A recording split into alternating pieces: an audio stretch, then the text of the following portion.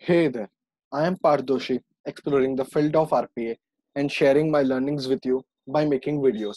So, this is the next video in the series of integrating SQL database and UiPath.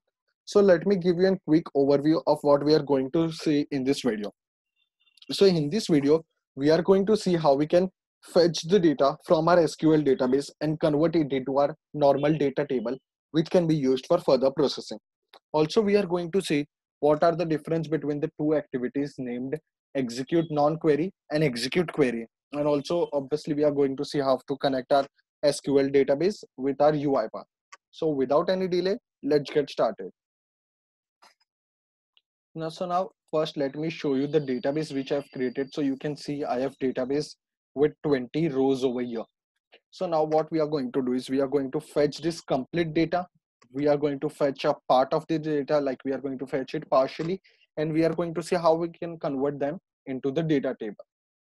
Now in uipath to use the database activities you need to install a package called uipath.database.activities that can be done from all packages typing over here. Once you do that in activities you need to search database and you will have the following list of activities. Now the first activity want is connecting our database. So I've tracked the connect database activity over here already. I have pre-built the workflow. I have created the connections. To see how you can connect your uh, database in more detail, please check out the first video in this playlist. Here, when you click on connection wizard, you need to select SQL server. Okay. You need to type your server name, what type of authentication you are using. Either you are using your company's server or something then you need to give the username and password. If not then you can just use windows authentication type the name and here will be the list of databases you want to use. So you can select whatever is there and test connection and click on ok. Once that is done what you have to do is you have to create a variable for that connection so that you can use it in further activities like when you want to disconnect or when you want to execute a query now, as I said, we are going to understand what is the difference between execute query and execute non-query. So execute non-query is used when we want to either write the data, delete the data, update the data, insert the data. Whenever we are performing some operation to put the data in our database, in our SQL database, at that time we use execute non-query. But we want when we want to get a specific data, get a specific database, or you can say get the partial database, we use execute query. So if you see here in the description, execute the SQL statement on database for update, insert and delete. And here database and returns the query result in a data table. So what I'm doing is I'm using a execute non-query wherein here in configure connection, I've passed the previous variable. After that, here you need the knowledge or the prerequisite you can say of writing SQL queries.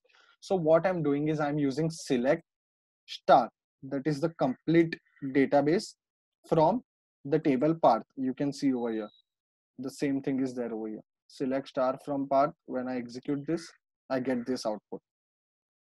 So i've written that query. Okay. Now my output is going to be in a data table. So directly here we have our complete database in a data table. After that what we are going to do is we are going to disconnect our database. So that is one of the best practices to like disconnect your database after you have retrieved or executed your query. So just a minute i think. Okay. So in disconnect i've just passed again the connection variable.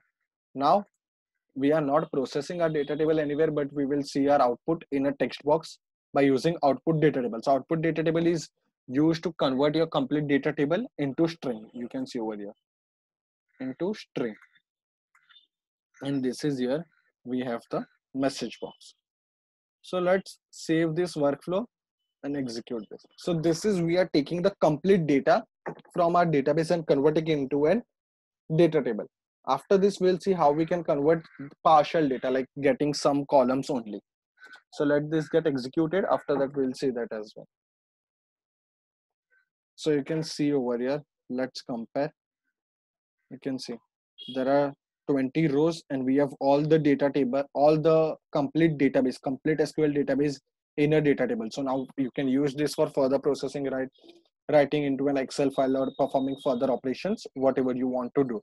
So if you want something like taking this data table performing some filter or something or merging two data table and then sending the data back to that you can do that. I will try to make a video on that as well. Now what we are going to do is we are just going to take employee id and employee name so this is like we are taking just a partial data now. So here employee id make sure you write the column name properly. Employee name. So i'm specifying the column name. Select this particular columns and you can separate them just by using a comma. You can see over here. From the table is going to be the same. Okay so let's save this and execute this.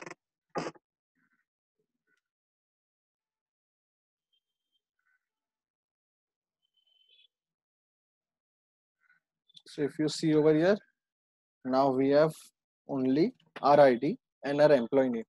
So no need to use filter also. Just by one step you can do the complete filtration of the data here as well.